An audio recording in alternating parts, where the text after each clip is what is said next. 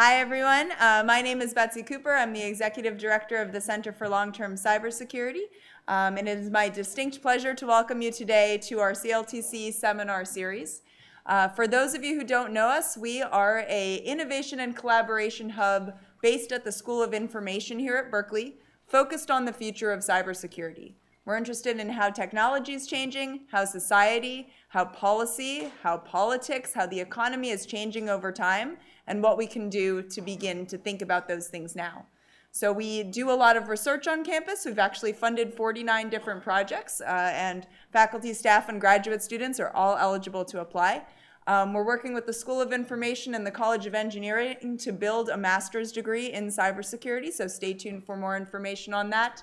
And we're really an engagement hub. We really like to be the place where people come to talk about tough questions. And today we're going to be hearing about some of the toughest questions of them all in this space. So today we are honored to welcome David E. Sanger to speak here at the Center for Long-Term Cybersecurity. Mr. Sanger is a national security correspondent for the New York Times, one of the newspaper's senior writers, and a three-time Pulitzer Prize winner. Most recently, in 2017, he was part of a team of New York Times reporters who run the 2017 Pulitzer in International Reporting. He's authored two Times bestsellers on foreign policy and national security, and I hear he's working on another book now, so hopefully uh, we'll get to see that soon. And he's had a 35 year career at the New York Times, um, including serving as the White House correspondent during the Clinton and Bush administrations. Today, Mr. Sanger joins us to speak about his prolific cybersecurity reporting. He was the reporter who revealed the story of Olympic Games, the code name for Stuxnet, which is now known as the most sophisticated cyber attack in history. He's since closely covered the rapidly developing implications of cyber war on national security and international relations, delving into issues and questions that we here at the Center for Long-Term Cybersecurity ask ourselves every day. Um, we've asked David to give us some of his information and background about uh, many of the events that we've all been deeply concerned about and to help us think through how those things will affect our democracy. Uh, I'm extremely excited to honor and honored to welcome David to the stage. Thank you so much.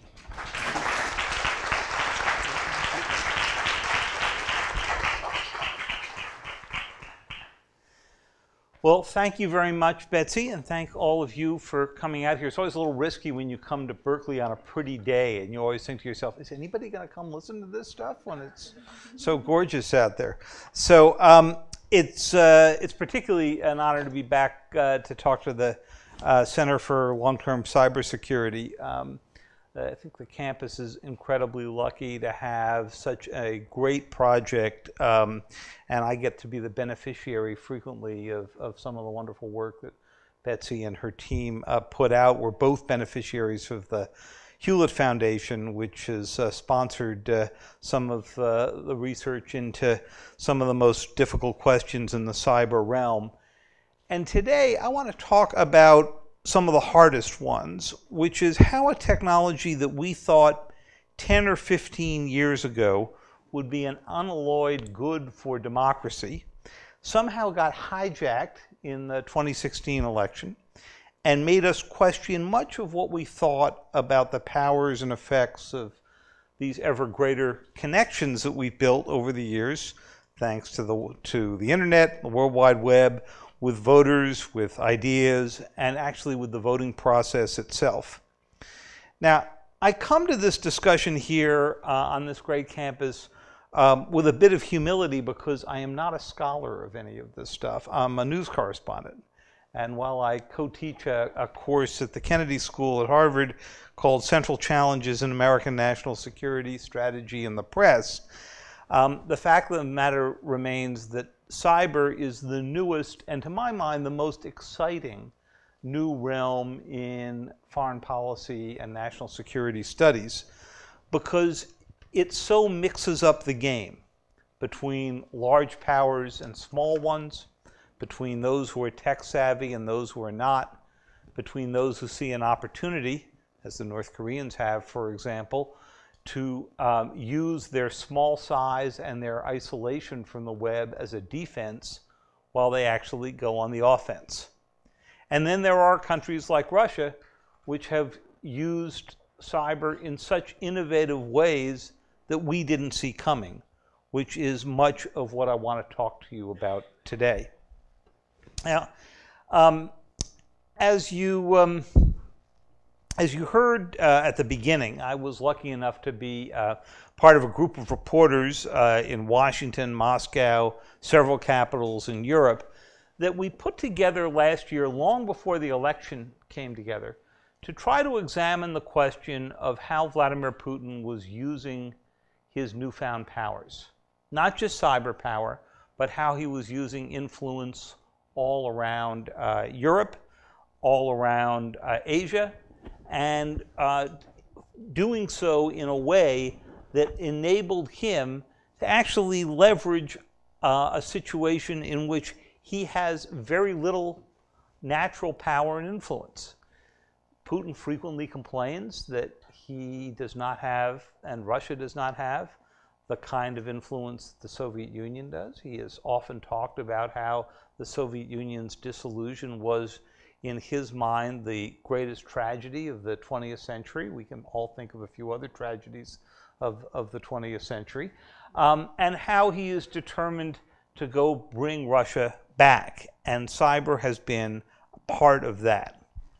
Now, a good place to start may be with this photograph. If it's familiar to you, uh, it was on the top of our website and on the front page of the New York Times uh, when we did our first big reconstruction of the Russia hack in December of uh, last year. And I'll be coming back to this a little later on in our talk. Eric Lipton and Scott Shane and I worked for months to go reconstruct exactly what had happened, go back to each of the players once the election was over.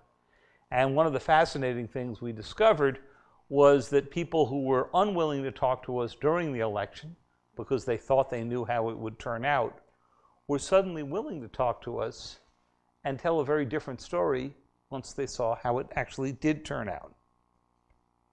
Now, while we were doing this reporting, we were at the Democratic National Committee, and we were down in the basement, and we ran across this scene. Now, on the left there, you see a battered file cabinet, so battered that it's missing the handle on the bottom drawer. And uh, I think that if this was at a uh, garage sale somewhere in Berkeley, it'd probably bring about five bucks. Um, it was jimmied open by the Watergate burglars in 1972 as part of the third rate burglary that brought down an entire presidency. To get a few file folders out of it, from which they learned almost nothing of value, uh, the Watergate plumbers had jimmied open the door and then busted that poor drawer down at the bottom. Now, on the right, next to it, sitting on that table, very slim, can barely see it, is a Dell computer server. It's circa 2016, and it's worth a little more than five bucks, but not much more than five bucks. This was the server that two Russian intelligence agencies got into starting in 2015.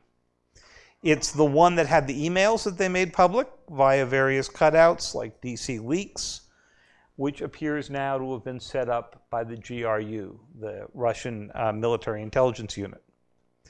When the leaks to this website they set up attracted insufficient attention, they somehow got this material to WikiLeaks.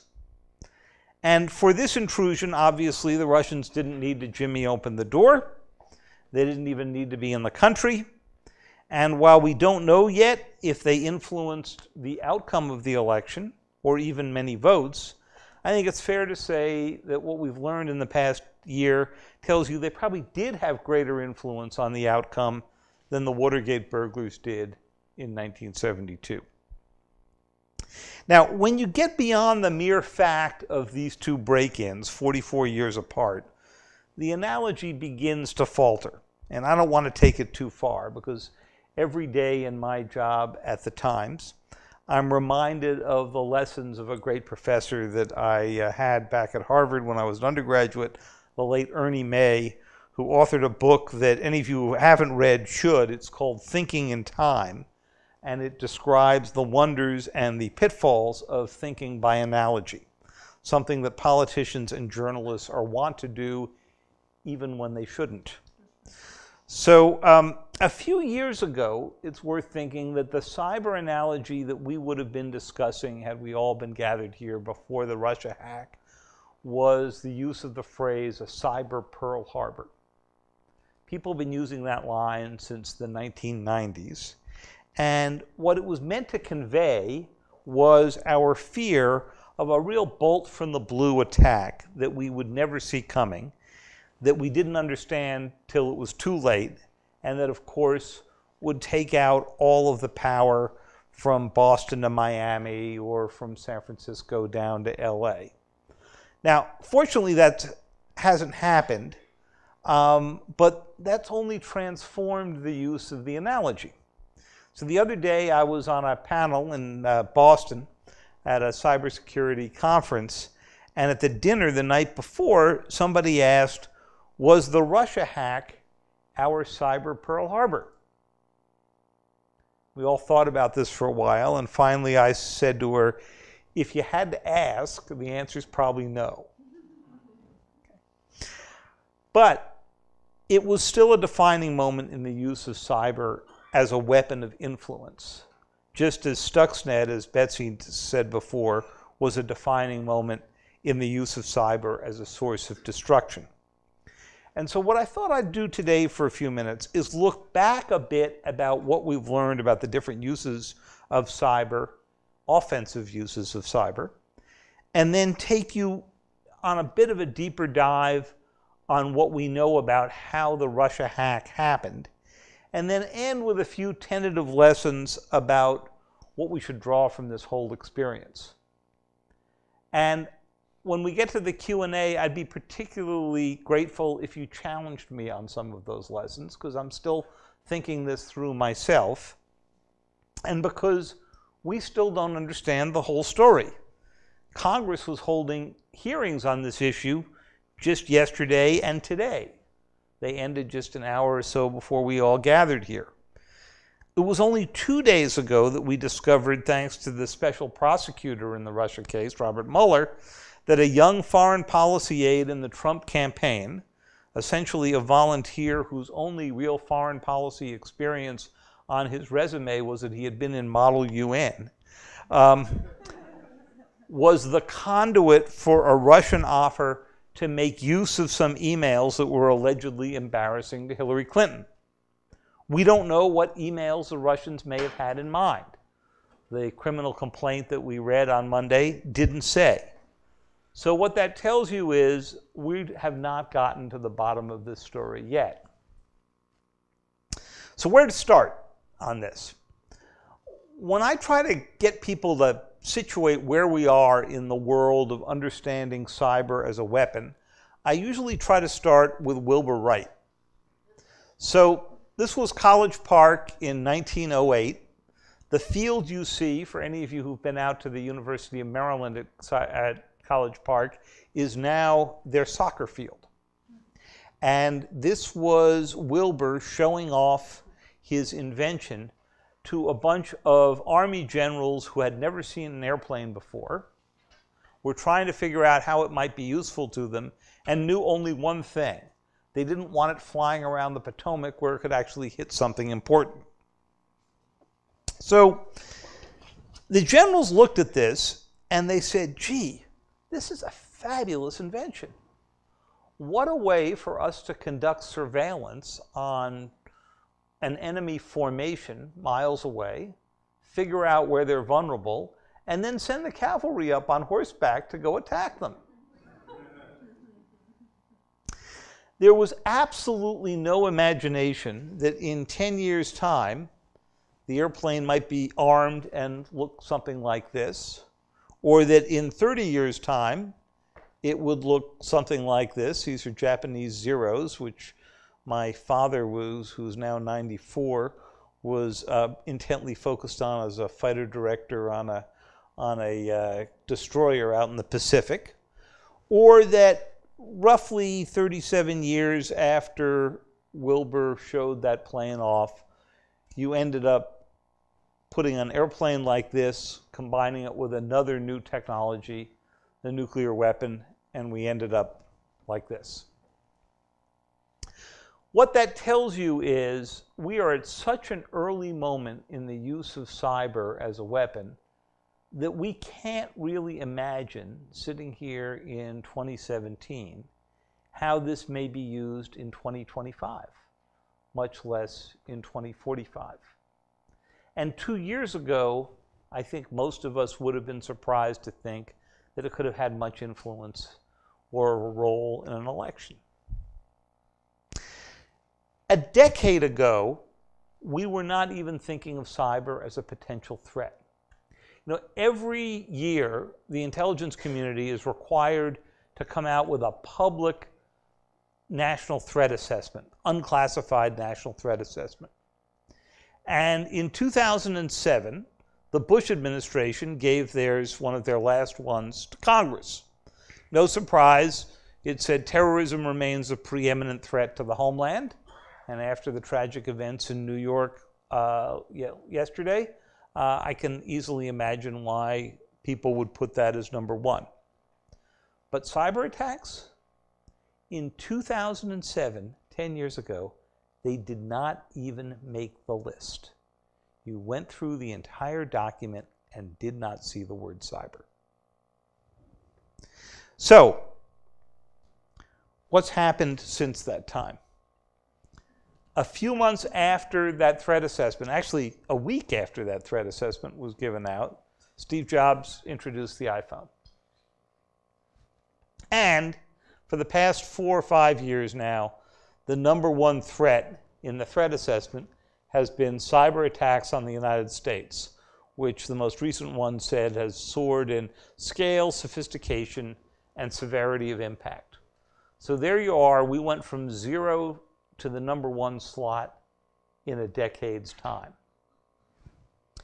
Now, General James Clapper, who was the Director of National Intelligence until the end of the Obama administration, and has been pretty interesting and outspoken in recent times about President Trump, immediately told Congress that he actually didn't really believe in the cyber Pearl Harbor thing. He said, although we must be prepared for a large Armageddon scaled strike that would debilitate the entire U.S. infrastructure, that's not what we believe is the most likely scenario. And instead, he went on to say that the main concerns are data manipulation, privacy issues, and so forth, and that, of course, Russia, China, and to a lesser degree, Iran and North Korea were the biggest concern. And in his later testimony, he would always make the point that we don't have a concept yet about how to deter these threats. And I'll come back to that at the end of our talk. So, when states use cyber, how do they use it? Well, for espionage, and as I said, for manipulation of data, for destructive purposes, which means that you use a computer attack essentially to do via cyber what previously you could only do by bombing something or sending in saboteurs. Or, and I've started because it's the one that we'll spend the most time on today, to achieve political goals. So let's run through those really quickly. So sometimes hacking is plain old espionage. On your left, the F 35, the most expensive um, airplane you've ever paid for. Um, and each one of you has paid for several thousand dollars of that, I suspect. And on the right, the Chinese equivalent of this stealth fighter that looks remarkably like it, which has everything to do with the fact that they got into both the Pentagon and the uh, contractors and stole the designs. That would be a classic, but only a small example of how cyber has been used for espionage purposes. Now, sometimes it's for destructive purposes, and this is um, uh, Mahmoud Ahmadinejad, the previous president of Iran, walking through the centrifuge hall at Natanz before Stuxnet struck. And those silvery um, devices next that he's walking through, if you've never been in a centrifuge hall are what are used, they're all linked together to enrich uranium. And inside each one of those silver cylinders is a very thin additional cylinder that spins at supersonic speeds. And through a, a, a, centrifuge process, it basically separates out heavier and lighter elements. And that's how you take plain old uranium, then turned into a gas form, and you over time enrich it to something that you could use in a nuclear power plant. Or if you kept enriching, you kept those spinning, you could turn it into bomb grade uranium and use it for a weapon. And of course, that's what the United States was trying to avoid have happen in Iran. But they knew that if the US, or more likely the Israelis, bombed the facility, which was entirely possible to do, it's underground but not very far underground, what the result would be. And so it was that President Bush when approached by a group of generals and intelligence uh, experts uh, in the Oval Office around 2006, 2007, approved a plan to attack this centrifuge hall with a cyber weapon. As Betsy said, the most sophisticated one that we knew of. It used four zero day flaws. Those are flaws that had never been seen before, that the Iranians would never have seen before. They were flaws largely in the Microsoft operating system. And over time, what the program did was speed up or slow down those centrifuges moving at their supersonic speed until these things blew up.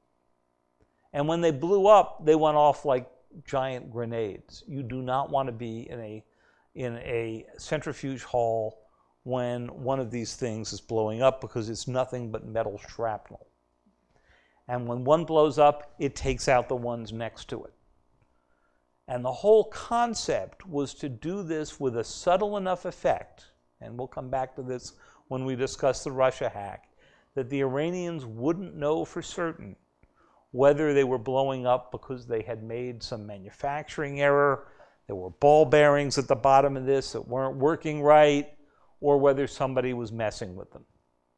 And it was a hard question to answer because we've blown up lots of centrifuges just out of manufacturing errors before. That was an incredibly subtle use of a cyber weapon, and not the last one. Earlier this year, my colleague Bill Broad and I reported on a program that President Obama had approved late in his presidency, in 2014, to do cyber attacks of a very different type against North Korea's missile program. It worked for a while, then it stopped working. But it was another interesting example of how you use cyber in a very subtle way to try to do something that if you did it from the air would probably start a war. This was the story that we ran in June of 2012 that described Olympic Games. And um, it um, won me a four year long FBI leak investigation. Uh, fortunately, that one is over, um, but gives you a sense of how sensitive these issues quickly become to the government. Now, the post Stuxnet world has been a fascinating one because in the years since Stuxnet happened and since it was revealed that it happened, and by the way, it wasn't revealed by the New York Times, the program actually revealed itself by getting out in a way that it shouldn't have, thanks to a programming error. And suddenly the Iranians and everybody else in the world had a copy of the source code. But in the years since that happened, there have been a lot of state sponsored attacks, more than I could fit on several slides here, so I just gave you a couple. The Iranians attacked oil production at Saudi Aramco. The North Koreans attacked banks and uh, media companies in South Korea, operation called Dark Seoul. The State Department and the White House were attacked by the Russians. The Sands Casino in Las Vegas was attacked by the Iranians. Why the Sands Casino?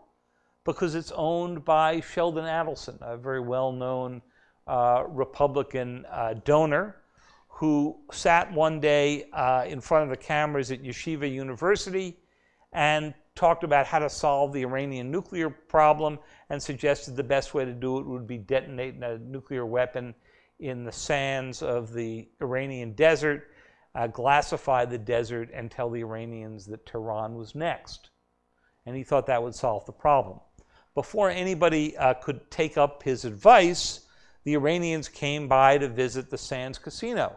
And um, one day his operators walked in there one morning and discovered that their computer systems were completely melting down and that you can't really run a casino without your computer systems. Um, there was a German steel mill that had a similar meltdown. We believe the Russians. And then, of course, Sony and the Office of Personnel Management. I'll come back to those. Sony was fascinating because it was a political hack. The goal here was not to steal money. It was, much like the Russia hack, in order to influence events. This was the event they were trying to influence. This is the poster for a truly terrible movie called The Interview. and I can save two hours of your life now by suggesting that you download something else when you get home tonight. Um, the concept of the interview was that the CIA would go out and hire two journalists, you can see them there, played by Seth Rogen and James Franco, who were supposed to go assassinate Kim Jong un. Now, I've been a journalist for a long time, and I can tell you that if you were going to hire two people from any profession to go pull off an assassination of a political leader, I would suggest you try something else. Dentists, you know, lawyers, I don't know. But don't try journalists, they'll screw it up. Okay? Um, when the North Koreans saw that this movie was coming out, but before it came out, and they wanted to uh, try to stop it, they did the first natural thing you would do when you would want to derail Hollywood from making a movie. They wrote a letter to the Secretary General of the United Nations asking him to stop it. Because we all know that the Secretary General has such incredible influence in, in Hollywood. when that failed, they started threatening uh, Sony. And um, the head of Sony Pictures uh, in LA was concerned enough that he called the head of the Asia department, the assistant secretary for Asia at the State Department, and said, Hey, I'm getting all these threats from North Korea. What do I make of this? He said, Oh, the North Koreans are always threatening something. I'd forget about it. So, um, what happened? The North Koreans, using a group called the Reconnaissance General Bureau, which is run by this gentleman you see in the um, uniform meeting Jim Clapper, uh, the DNI, when he went to North Korea to win the release of an American uh, went inside Sony's computer systems. And they very patiently waited inside those systems, mapped out what was going on. And that was all happening while Mr. Clapper, General Clapper, was in North Korea. But he wasn't aware at the time that North Korea was inside Sony systems. Why would he be? Sony Systems was a private one. It's not something the US government normally monitors. And it turned out that the head of the Reconnaissance General Bureau was not about to go tell him during their dinner, which was mostly occupied, uh, General Clapper tells me, by trying to relitigate the Korean War. the other thing that happened at that dinner is that the North Koreans stuck General Clapper with the bill, even though he was visiting them. so, what happened next? Workers at Sony showed up the day after Thanksgiving. They turned on their computer screens. They saw this image where they thought they were going to see, you know, angry notes from their boss about why they haven't gotten more work done. And um, this our, this whole thing, this wording in here, basically made a ransomware threat. This wasn't about ransomware. It's true that the North Koreans had stolen some vital emails about how difficult it was to work with Angelina Jolie and released these. It was of great interest to supermarket tabloids and to almost nobody else.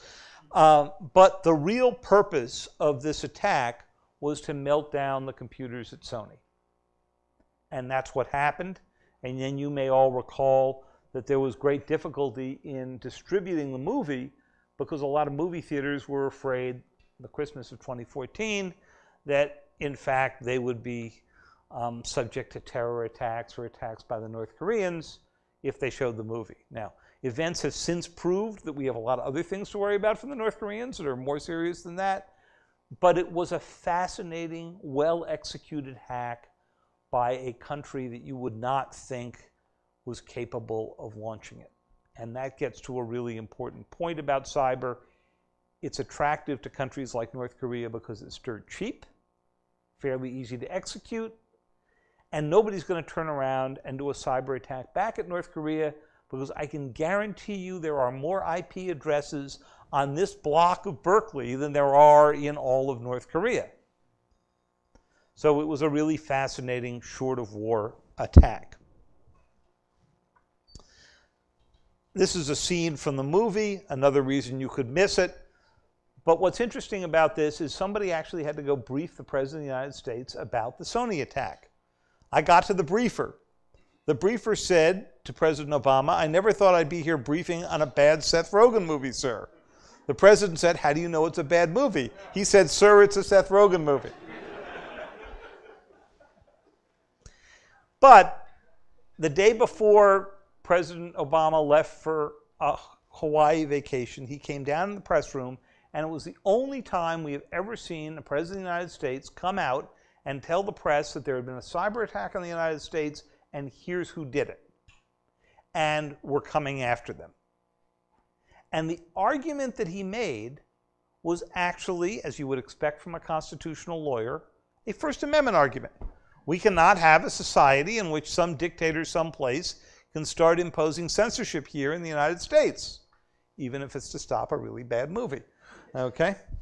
And the US did some minor things to the North Koreans, some sanctions that I doubt the North Koreans ever felt, given all the other sanctions that are on them and maybe or maybe not cut off their access to the internet for a couple of days through China. At the same time, while Sony was happening, there was another extraordinary espionage attack, also very subtle, this time from the Chinese, and it was to steal the kind of data that OPM, the Office of Personnel Management, the most boring bureaucracy in Washington, gathers on everybody who's getting a security clearance. This is more than just stealing your social security number. This is much more than what Equifax would have. It's your health records. It's your marriage records. It's records about your kids. It's records about anybody you dated before you got married. It's records about your bankruptcies. It's everything you would need to draw a picture of what somebody was like. How did OPM respond to this? Well, first of all, they left this data unencrypted, which tells you how out of it they must have been. Secondly, they were storing it because Congress wants them to store it in the least, least expensive way possible on the computer systems of the Interior Department, where this vital information was given the same protection that we give to, say, bison uh, migration in Yellowstone. Okay. Um, in the end, no senior official in the United States talked publicly about this breach, even though it was the biggest breach of American government records that we can find, and one that will be used for political purposes for many years to come. Was this a cyber attack? Not if you ask the National Security Agency or the CIA. Why not? because it was espionage. And we all agree that they do espionage to us and we do espionage to them. And therefore, if we call it a cyber attack and begin to develop a norm that we won't do this kind of thing, then the US government's going to have to stop doing something that we employ tens of thousands of people to go do each day. And that issue will also come back in the Russia hack. Now, why did I run you through all of these? It's because this was the context in which the Russia hack happened. This was a world in which cyber became used in more and more subtle methods every month and every year. This was a world in which, while we still worry about a cyber Pearl Harbor, we discovered cyber weapons could be tailored to much, much more subtle purposes. So, let's talk for a moment about what happened in the Russia hack. What made this so interesting? Well, as we reconstructed the story, what we discovered, first of all, was that the United States government was not the first to discover the Russians were in our system. A foreign government had actually detected that the Russians had records from the Democratic National Committee and, being good allies, notified the NSA. The NSA is not allowed to operate inside the United States for all kinds of good legal reasons. They're a foreign intelligence collection agency. So they took the data, neatly laundered it so they took out the sources and methods, and handed it off to the FBI to go investigate. And this got handed to an overworked FBI agent in the Washington field office. If you're wondering where the Washington field office is, you saw pictures of it the other day as Paul Manafort was surrendering with his lawyer on Monday morning. That was the Washington field office. And some poor guy in there gets 150 different cases. He's completely overwhelmed. And so he calls over to the Democratic National Committee, not especially aware of its sensitive political history given Watergate. And he wants to be able to talk to somebody about cybersecurity there. So he does what any of us would do he calls the help desk and gets put on hold.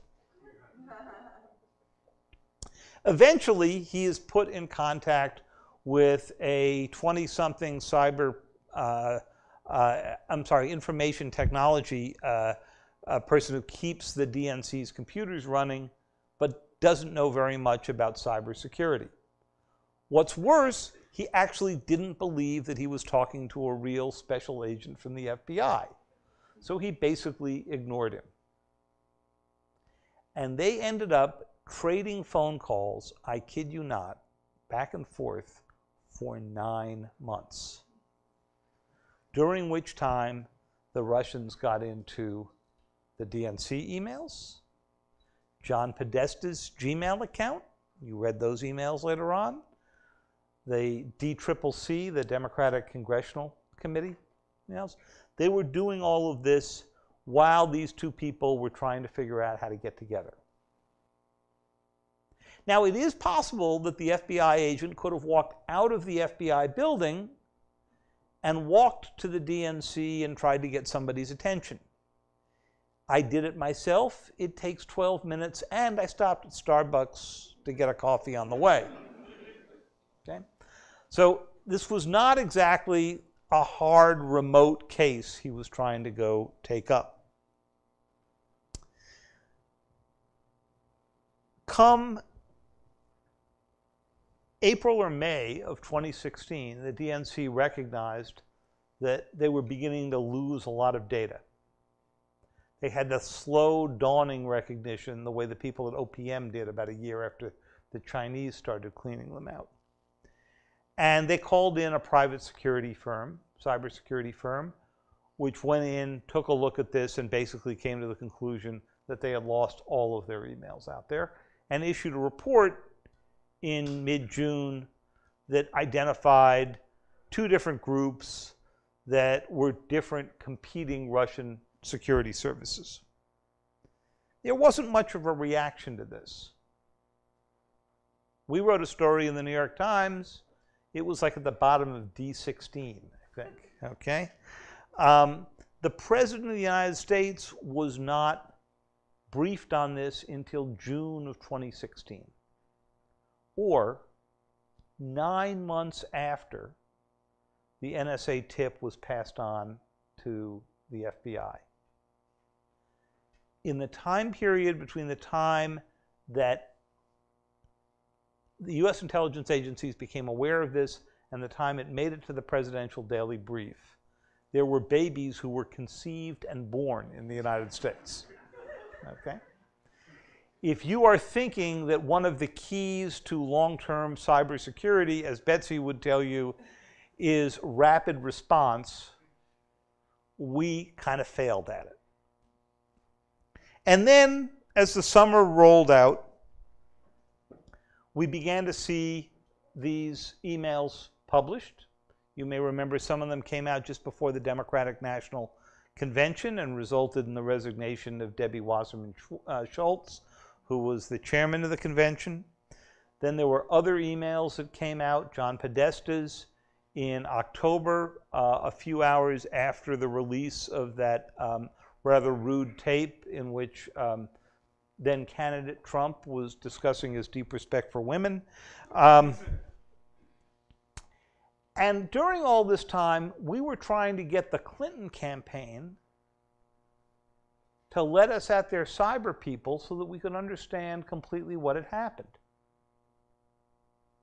They've rewritten history on this a little bit now, but they wouldn't let us anywhere near them. Why wouldn't they let us anywhere near them? Because they were quite concerned that anything that had to do with cyber and emails would eventually be turned around to a discussion of Hillary's emails in that server in Chappaqua. And so they just didn't want the subject discussed. That changed later on. Now, what happened at the White House? There was a big debate underway. How do you respond to this? Do you publicly out the Russians? Do you do something of a cyber nature back to the Russians? Do you do something of an information nature back to them? Some people said, well, why don't we just go reveal uh, that um, President Putin has hundreds of millions, if not billions of dollars in uh, foreign bank accounts, maybe freeze those accounts, maybe reveal his connections to the oligarchs. Others said, this is really going to work? Big news flash to the Russians? Vladimir Putin is linked to the oligarchs? So in the end, they were extremely cautious and did not name the Russians. In July, with a colleague of mine, Eric Schmitt, we wrote a story saying U.S. intelligence has determined with uh, basically the highest level of certainty that they rank intelligence on that it was the Russians who were behind the hack. But still, the intelligence agencies said nothing. They said nothing until October 7th when they turned out a statement on just that issue. And even then, they didn't link it directly to Putin, something they did months later once they said they had more evidence. An interesting question as we think about the lessons of all of this is whether President Obama underreacted. Underreacted by not naming the Russians when they got into the State Department email system years before, when they got into the White House system, when they got into the Joint Chiefs of Staff system, and not doing so when they got into the DNC. That was strongly defended, that set of decisions, by people around President Obama till the very last day he served in office. Today, now that they've had a little time to reflect and be out of office, many of them are not quite so certain they handled it the way they wanted to. And then we discovered, after we had done this reporting, that there was a lot of advertising and a lot of uh, Facebook, Twitter, and Google posts that turned out to have been put together by the Internet Research Agency in Russia, which is another propaganda arm. Nothing new here. Stalin used to turn out fake news all the time in the 40s, but when you can use Facebook, you can really broadcast it much more broadly. And just in the past few days, we've gotten actual numbers finally from those companies about how broadly it was, and it was a lot bigger than they thought. Facebook and the other firms would not reveal what those ads were, even though we had all seen them, or some of us had seen them, in our feeds at the time. Well, fortunately, this morning, Congress decided to reveal them for them. They turned out 3,000 of the ads. I've not had a chance to go through all of them, but when I got off the airplane today, I downloaded just three so that we would have examples to give you guys a sense of what the Russians were doing. And what you discovered was that they weren't really specific, that specific to President Trump, uh, then candidate Trump or Secretary Clinton, but instead they were designed to pick up divisive issues within our own society and divide us even more. Again, a very, very subtle use of cyber. Here was one of them. Another gruesome attack on police by a BLM, Black Lives Matter movement activist. Our, heart, our, our, our hearts are with those 11 heroes. And it's showing you a, a funeral. And this was um, uh, about a gun battle in East Boston where it's not at all clear that had anything to do with Black Lives Matter. Here's one of my favorite from the Army of Jesus. Turns out that was a Russian created group. Um, Satan, if I win, Clinton wins. Jesus, not if I can help it. Press like to help Jesus win. Now, I'm not quite sure who thinks this stuff up, okay? But it is interesting that this was one of those ads that made their way out and around. Heart of Texas, get ready to secede. Now, my family's all from Texas, from the 1840s and 50s, and there was a period of time, as you remember, when Texas was not part of the Union, and that's taught in the Texas schools. But this was getting right at it because, of course, the argument, as you can see from the picture there, is that um, they're being taken over by Islamic forces. Fellow Texans, it's time to say a strong no to the establishment robbers it's unacceptable for them, for us to see them ruin what we've been building for decades. Again, this is all designed to fit into existing kinds of, of disputes. So, as we think about this story, what are the lessons from it? Let me give you a few that have come to mind for me. Uh, the first, as I said, is we have to recognize we're still figuring out the facts. And um, back to the dangers of analogy. In the case of Watergate, we had a president who was conspiring to participate in the break in. We have no evidence that President Trump was involved in the conception, the distribution, any collusion about these ads. Of course, on Monday, we learned for the first time that a member of his campaign, a young member of his campaign, he went out of his president went out of his way yesterday to tell us how disconnected from the campaign this youngster was, even though he was sitting at a table with the president at one point. Um, uh, that uh, we learned that in fact there was some offer from the Russians back and forth, but we don't know how deep and important that was. Second, while we certainly have a cyber problem here, first and foremost, we have a Russia problem. As Mike McFaul, our former American ambassador to Russia, who's now down the road at Stanford, said to me recently, Putin thinks that this is a zero sum game. And for him, this is about undermining an American led order whose existence he finds threatening. So we often forget that in Putin's mind, the original election manipulator here was Hillary Clinton when she was Secretary of State and turned out statements denouncing the 2011 parliamentary votes in Russia, which she said were not a free and fair vote. And he regards this as work to manipulate the election because her statements were followed by street protests. And it turns out Vladimir Putin doesn't like street protests. We view this very differently. We don't view that as election manipulation we view that as standing up for good American values of self determination. And so it's important to remember that election manipulation is in not only the mind of the beholder, but the mind of the recipient of the attack. Third, in our desire to prevent a repeat of the 2016 fiasco, I think it's important that we try to remember what we're trying to protect, which is free political debate, not only at home, but around the world.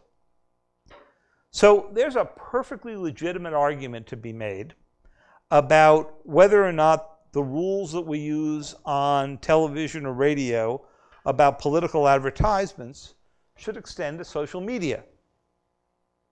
If Betsy here was running for Congress, maybe one day we'll convince her to do that, she'd have to end her television ads with the words, I'm Betsy Cooper and I approve this message. But if you run that on Facebook, you don't have to have that message in there.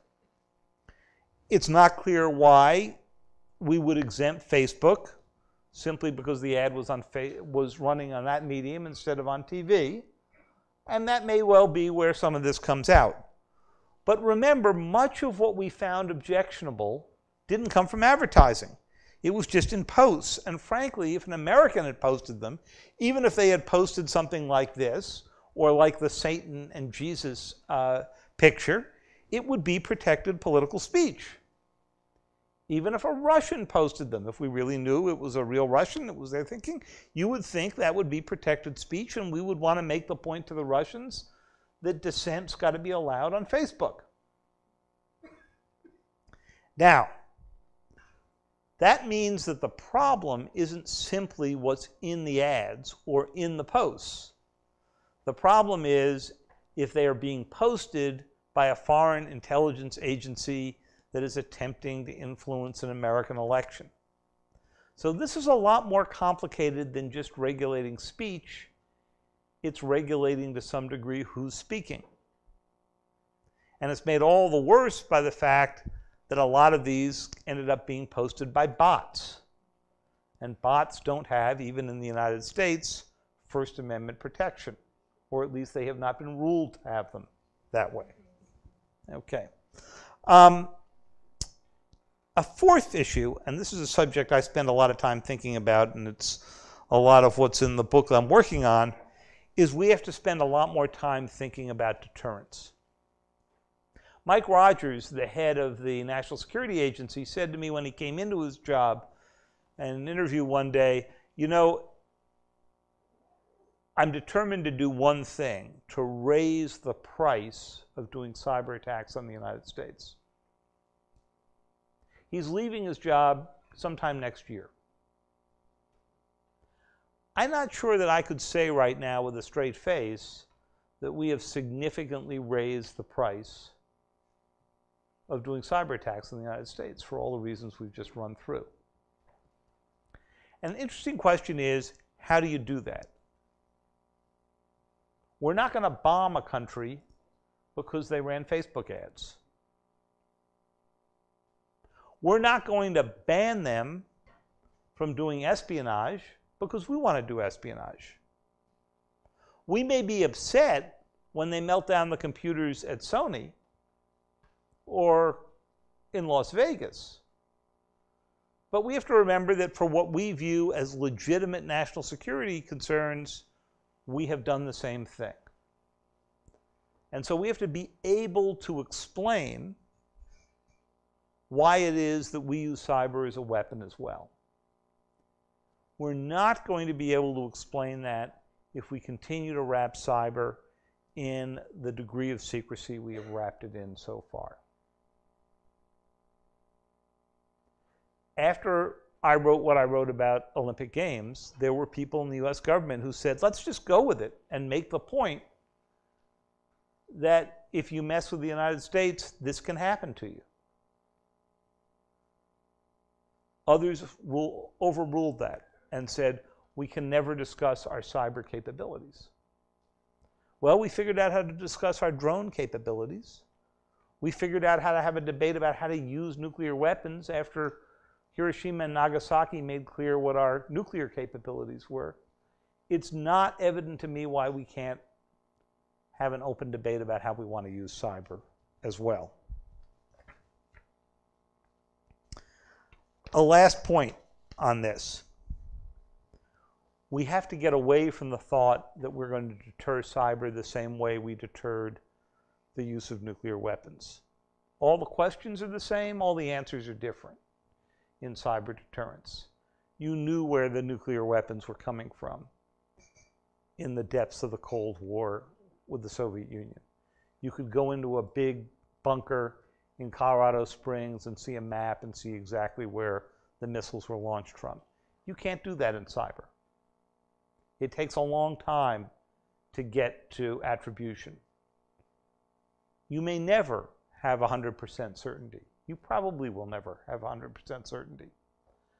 And thus, it really mixes up the question of how you would argue to retaliate.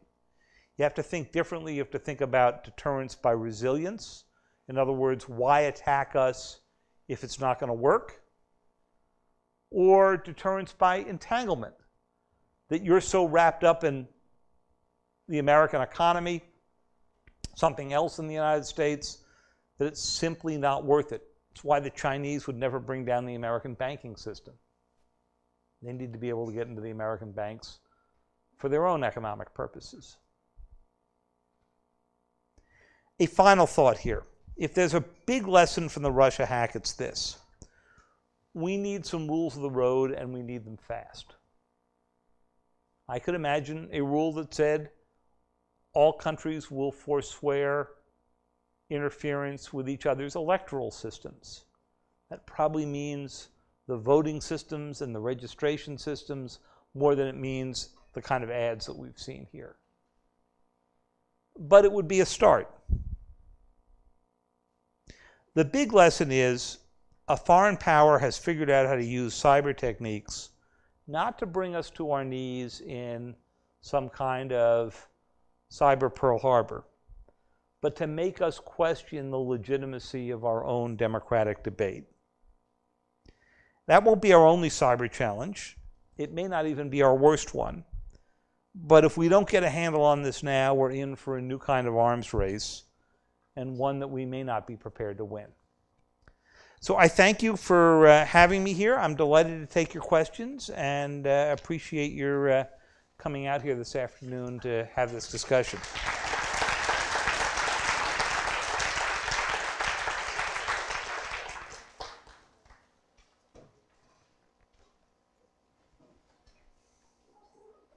So I think we've got some microphones that are going around here.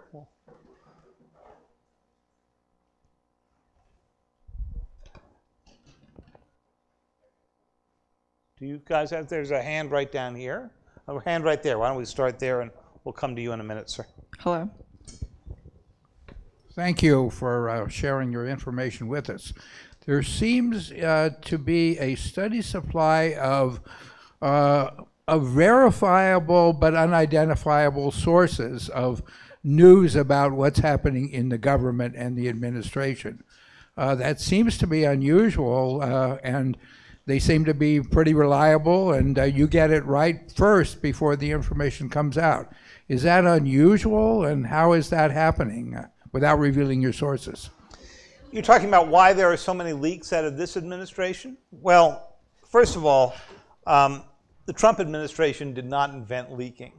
Okay, um, that's been around for a long time, and um, President Trump is not the first president to complain about leaks. Um, during uh, the Civil War, uh, when there were both leaks and critiques of the activities of a number of uh, generals, uh, one of them, with whom New York Times and other reporters were traveling, had a simple solution that he'd um, simply throw in the brig any reporters who were revealing what was going on out in the battlefield, particularly if it reflected badly on the commander. I made the mistake once of mentioning this to General Petraeus during the Iraq War, and he looked at me with that big smile and said, why didn't we think about this? Um, but the fact of the matter is that at the beginning of the Trump administration, it was much leakier than most administrations are at the start. Usually, there are fewer leaks at the beginning of an administration because everybody who comes into an administration thinks the president is, you know, uh, figured all of this out. They're deeply loyal from the campaign.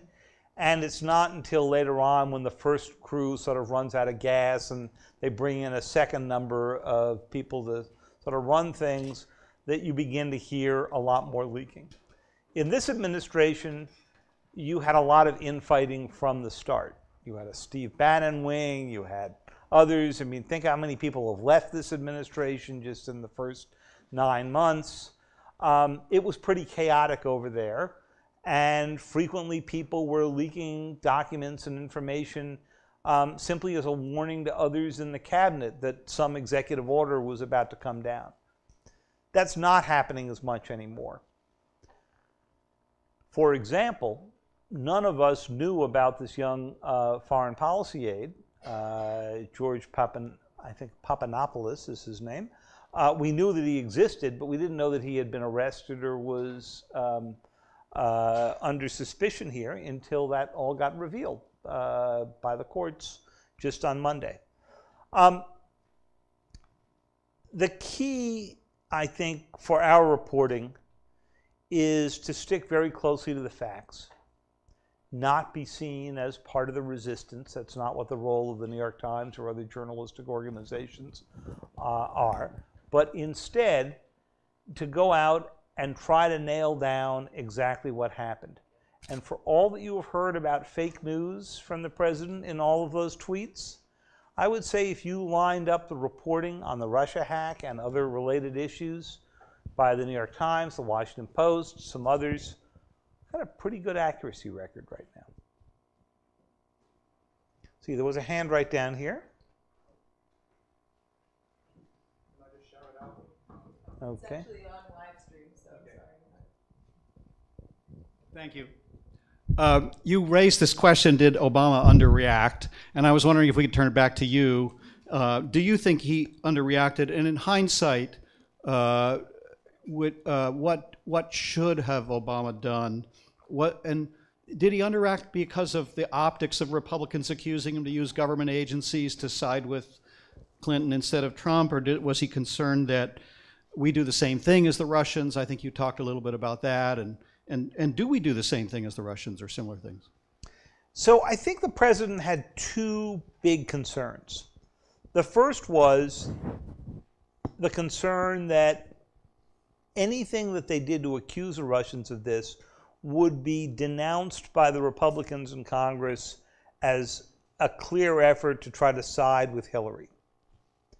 And that was discussed and I think that um, a number of the president's aides who had gone up to talk to the House and Senate leadership were kind of shocked to discover how uninterested in the subject they were, and that this something that they thought would be relatively bipartisan had become a partisan issue. But secondly, I think the president was worried about escalation. That if he accused the Russians of this prior to election day, that they would turn around and actually go try to manipulate the vote on election day. Now, we had greater protections against a manipulation of the vote than we knew. Our voting system, God bless it, is so backwards, so discombobulated, so different from state to state that it's actually pretty hard to hack. And one of the things that I think we have to all think about as we think about the lessons from this whole experience is keeping it discombobulated and uh, separated and offline, or at least keep the voting machines offline, and also making sure that we have a paper backup for every vote cast. But the president was deeply concerned about that, and you'll notice that he didn't order up a full um, intelligence report until after the election was over. And maybe they just thought that Hillary Clinton would win. And, you know, this would have been an ugly chapter, but it wasn't going to make that big a difference. Um, we've had one other problem since then. You could have imagined a situation in which the new president would come in say, look, I was legitimately elected, but we can't have a foreign power messing around in our elections. And so I'm gathering together a commission You go find somebody like Lee Hamilton, who always goes and runs commissions like this. You put them in charge. You say, we want to report back by the end of the year, and we want solutions uh, for this before the 2018 and certainly before the 2020 election. Instead, he put together a commission on what happened to the 3 million votes that must have been cast by illegals or something uh, for Secretary Clinton instead of for uh, President Trump. So that commission is looking at an issue that is completely separate from the one we've been discussing today. And I think that's problematic because obviously, as we've learned this week, there are still a lot of facts to be understood here and a lot of real recommendations to come up with. And while I think that the special prosecutor, uh, Robert Mueller, is going to work hard on the investigation, he clearly already is, it's not in his purview to then come out and say, here are the five or six things we need to go do to fix the system. And that's what requires a commission to be able to go do that. Oh, I didn't answer the last part of your question. Do we do things like this? We do a lot of cyber things for a lot of countries. We have run information operations in the past in Latin America, and Iran, and so forth. Um, it's not something we're very good at, and it's not something that I have much evidence we've done in recent times. Well, Voice of America is a state run news organization, and if you want to say that that is propaganda, you can, but then you've got to say BBC is as well, which also broadcasts around the world. You know, and I, I listen to Voice of America. I occasionally go on it. They're pretty straight, and uh, they're also at times fairly critical of the U.S. government. Uh, but all countries have that, and all, all countries regard the other country's version of it as propaganda. We certainly regard RT, it used to be Russia Today, that way. But um, I think I'm, i was discussing something that would be sort of deeper, which would be, you know, spreading around rumors and dirt about a candidate you didn't want to see win. Ma'am. Mike's coming right to you there. Thank you. I really appreciate you being here today, um, given this particular week. I just finished reading a wonderful report by the National Democratic Institute, and in uh, 2013 it was their um, Citizen Participation in Technology report. Mm-hmm. And I enjoyed it immensely, but it noted just how deeply we were involved in elections in countries around the world and blend, bringing in and blending new technologies to help people um, develop you know, political coalitions and information using things such as Facebook and whatnot. Um, but as I finished it, I was considering how um, countries must have felt quite blindsided in many ways to have such a strong surge of democratic tools and techniques coming from um, the United States and particularly from maybe um, people who've been in power in those countries. So I, I, I guess my question is in terms of cybersecurity, because you're talking about a very different type of direct attack into our um, technology and, and our government um, factors, but do you think this could be part of a backlash in a sense of just seeing how strong we've been in terms of influencing countries and their democratic election procedures? Well, certainly, as I mentioned in the talk, uh, Putin felt that way strongly based on what Secretary Clinton said.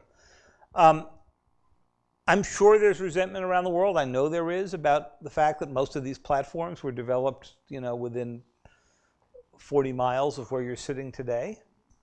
Um, and so they view these as uniquely American uh, inventions.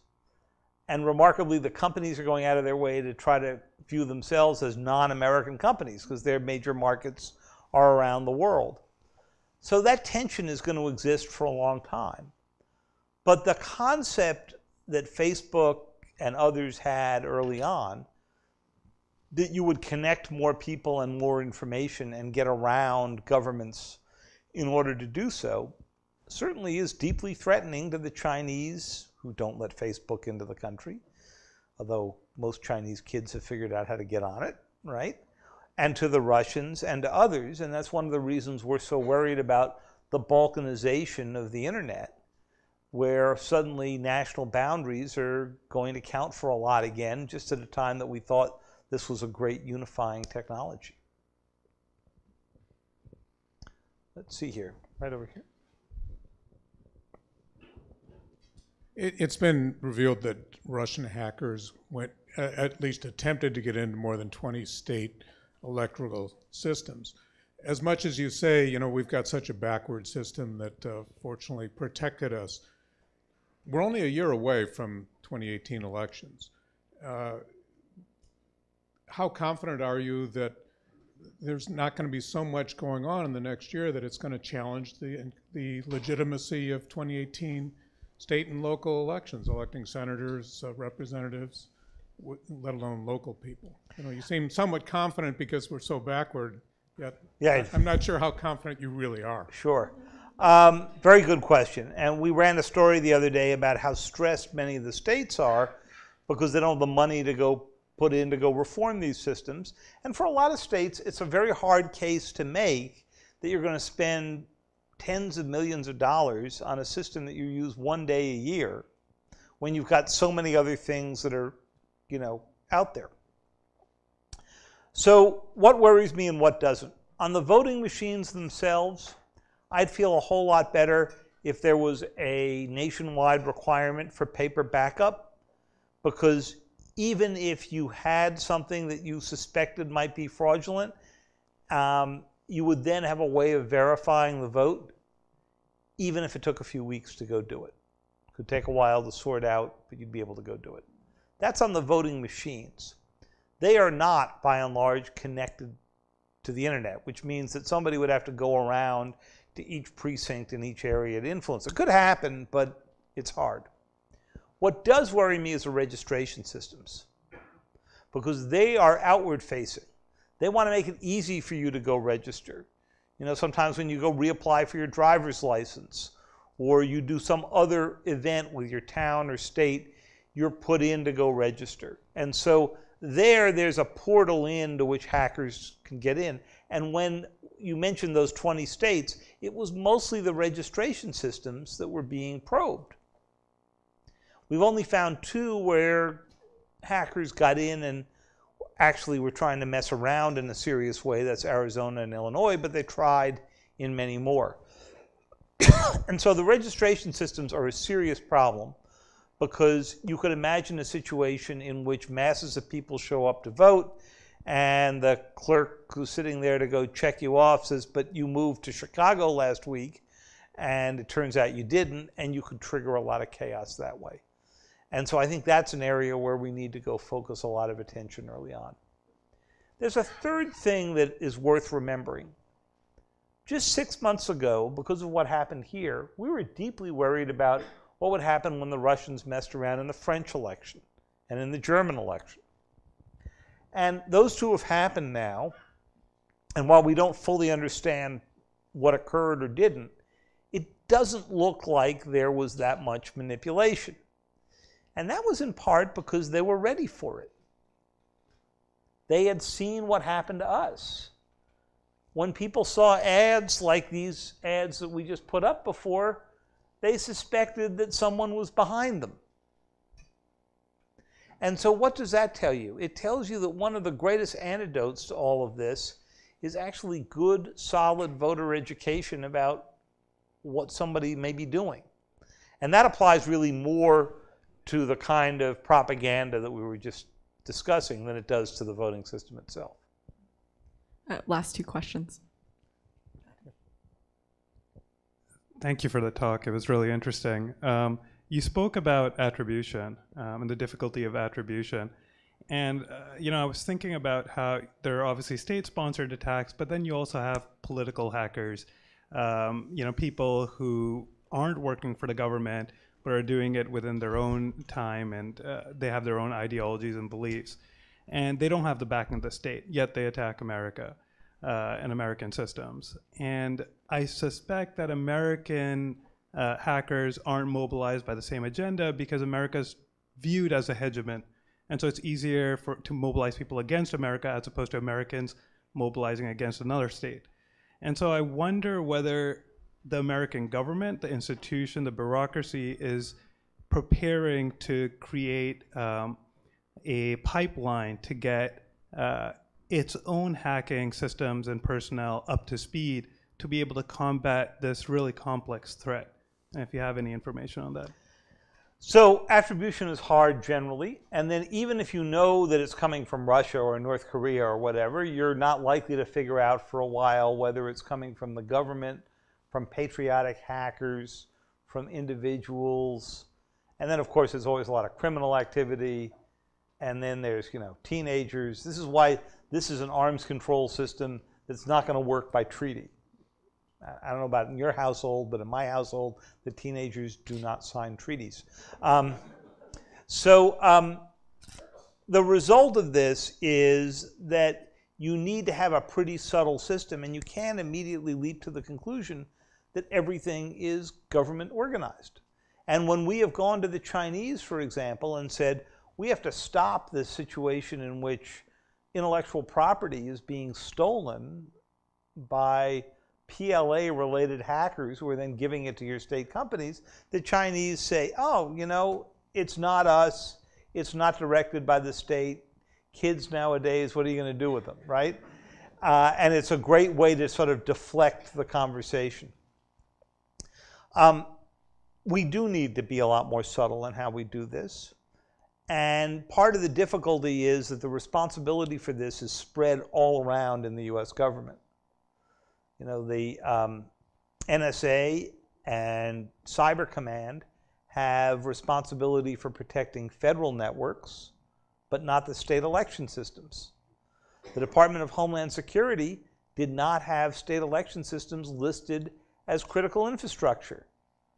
Monuments were, right? DHS had, you know, the, all the computers sitting inside the Lincoln Memorial, the Washington Memorial, critical infrastructure. The fundamentals of our democracy? No. So um, there's a big question about who's responsible for it, and then how specific can you be? And then when you see these hacks that are coming across using Facebook and Twitter and so forth, our, actually our biggest line of defense has been the terms of service that they have. Not anything we could go do, but that Facebook could throw them off because they violated their terms of service rather than violating some American law. So we've got a lot of sorting out to do, both legally and logistically, about how we're going to get at this problem, even if you could do perfect attribution, and you never will be able to make that perfect. We had time for one more. Who was that young woman right there in the striped shirt? Yeah.